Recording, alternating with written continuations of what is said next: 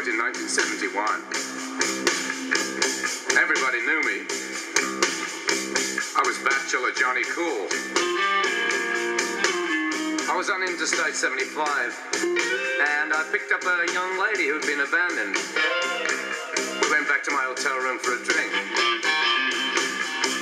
I kept telling her I was tired, I had a headache, but uh, she wouldn't listen. Anyway, the next morning, as the sun rose, she asked me why I carried on this way, and uh, I told her.